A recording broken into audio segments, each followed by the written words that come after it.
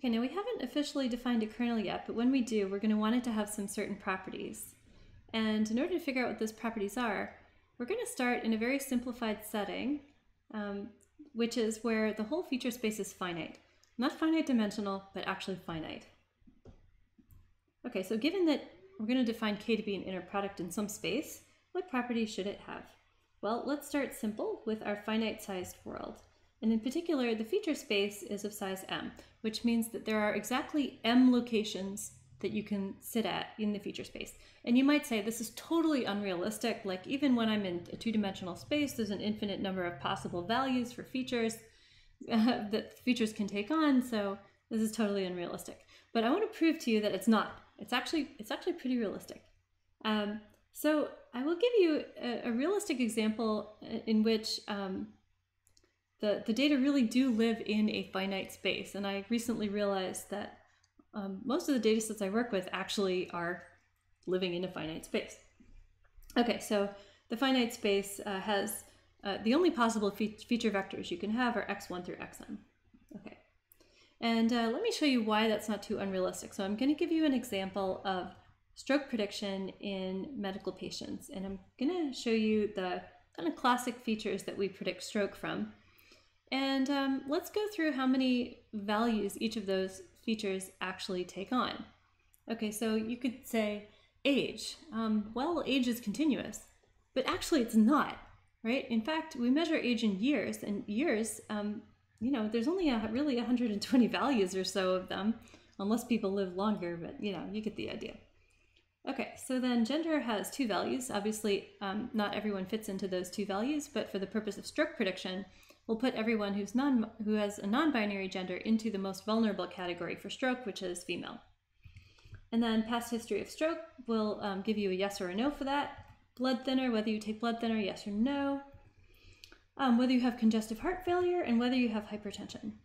Okay, so if you think about it, the size of the space is actually finite. So every person who's being evaluated um, for prediction of stroke has one of this many possible feature vectors. Okay, so as long as you're willing to work with me in this finite space, um, we can actually figure out what, uh, what uh, properties we want our kernels to have. And what do we want out of our kernel? So I'm going to form the Gram matrix of all possible inner products in this space. And now I don't know what properties this matrix is going to have because I haven't defined the I haven't defined the Gram matrix yet, but at least I want to tell you what what we want to figure out what properties it might have. Okay, so uh, you know each entry in this matrix is an inner product of two different feature vectors. Okay. So, um, and this is like all of the inner products in the whole space. There's no more inner products outside of this. So what properties do we want this to have? Um, well, uh, we want the inner product to be symmetric because it has to obey the definition of an inner product. So that's fine, that matrix has to be symmetric. But luckily for us, um, since it's symmetric, it's also diagonalizable. Uh, so uh, as it turns out, um, you know, this fact that real symmetric matrices can be diagonalized is actually um, not too difficult to prove, but it does require a little bit of linear algebra. Okay, so let's diagonalize it. And so we'll diagonalize it to look like that, where V are the um, eigenvectors and lambda is uh, a diagonal matrix of eigenvalues. Okay, so something like that. Now, um, and it's, by the way, lambda is zero everywhere except for the diagonal there. Okay, so um, I want you to consider a very specific feature map, and you'll see why I'm defining that in a minute.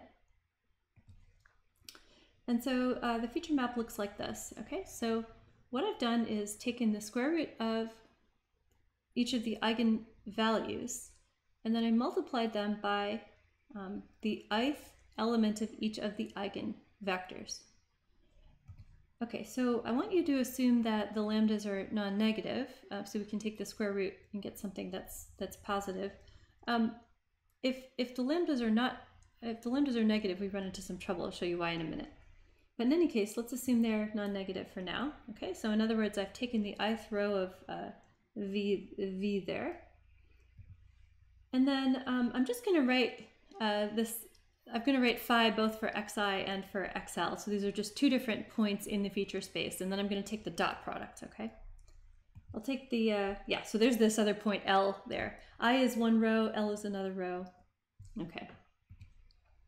So now I'm going to take the regular dot product in Rm, where again, m is the total number of states in the universe. I take the dot product, looks like that. And then this actually happens to be the ith entry of that matrix multiplication, which is exactly k, uh, kxi Okay? So cool. So we, we now understand that the inner product, uh, that, that k can be um, can be viewed as a regular inner product in RM as long as we use these particular these particular um, feature maps. Okay, so why did I assume that the eigenvalues were non-negative? Why was I doing that?